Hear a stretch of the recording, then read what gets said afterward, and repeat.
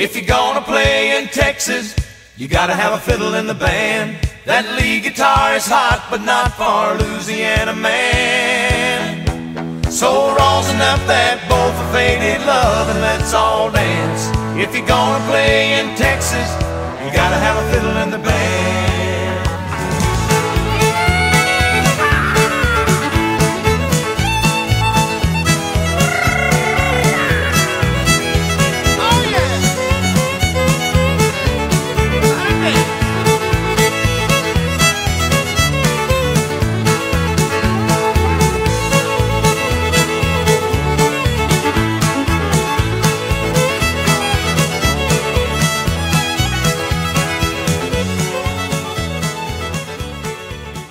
were work that he was working with, and I we actually have maze conventions, and I we actually have maze conventions.